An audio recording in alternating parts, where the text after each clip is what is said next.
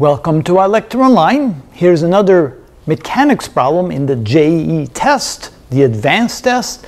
And let's read it together. It deals with work.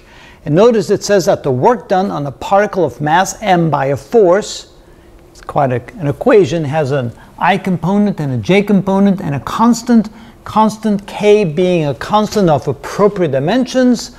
When the particle is taken from a point a0 to the point 0a, along a circular path of radius a about the origin in the xy plane is, and they give us four possible answers for the work, one of them being zero. Hmm.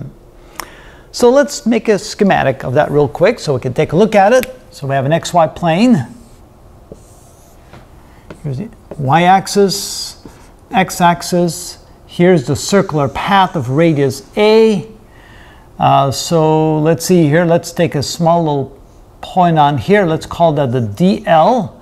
The DL, of course, is uh, we're going to integrate it from A0 to 0A. So we start at A0 and we go to 0A. So we're integrating along this path. And if this is radius A, A and this small angle is d theta, then DL is equal to A d theta. Now, that's the magnitude. What about the direction? Well, we can say that dl as a vector quantity is equal to, if we take the um, this direction right here, notice that it's 0 over here, maximum value there, pointing in the negative direction. So dl can there be expressed as a minus a times the sine of theta, because when theta is 0, the sine of 0 is 0. That makes sense. There's no component in direction. And here's the maximum component, so minus a sine theta.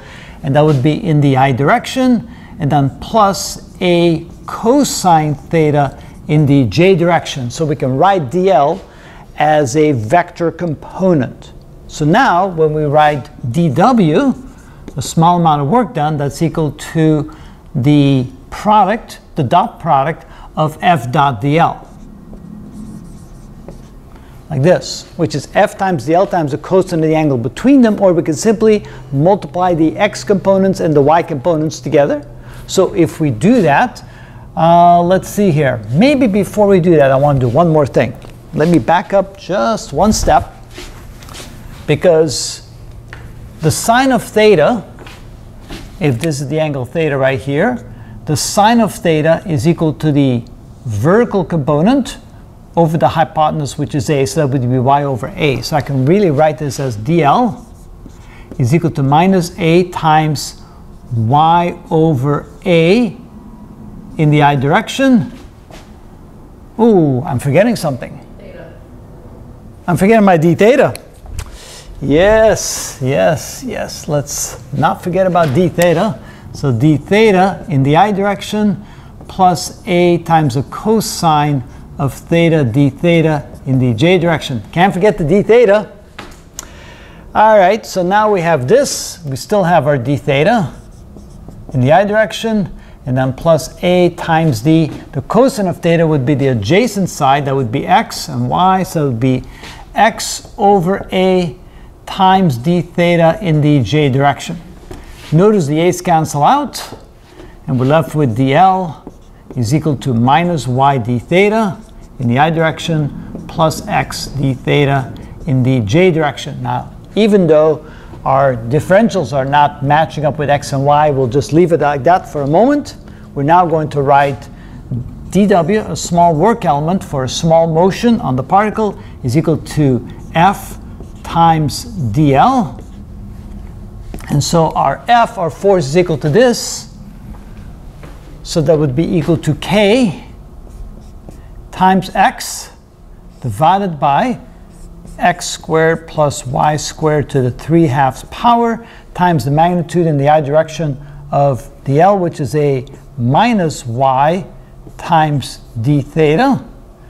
And then we get plus f, which is k, times y divided by x squared plus y squared to the 3 halves power and then times dl, which is x times d theta. That would be our dw.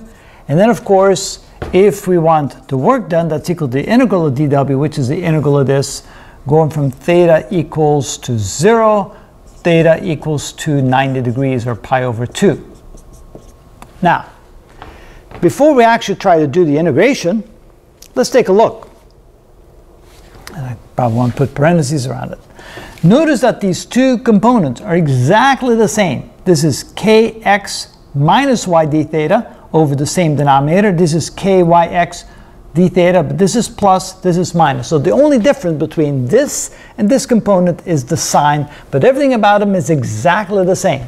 Which means that if we're going to integrate them with the same limits, we'll get the exact same value for these two parts, but one will be negative, the other one will be positive, and they will therefore cancel each other out.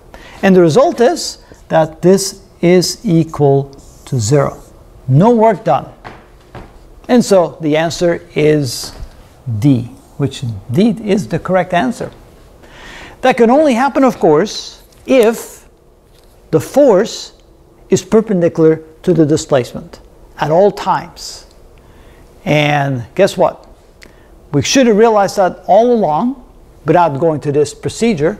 So in the next video, we're going to take a look at and see if we can shortcut this method and really think about what's the direction of the force, what's the direction of the displacement before we try to set up the integral and go through all this work. Because again, you only get three minutes to do this problem, and we probably spend more than three minutes just getting to this point alone. So is there a faster way to do it? Let's try that on the next video to see if we can find the work faster by realizing that the force and displacement are perpendicular to each other. And that is how it's done.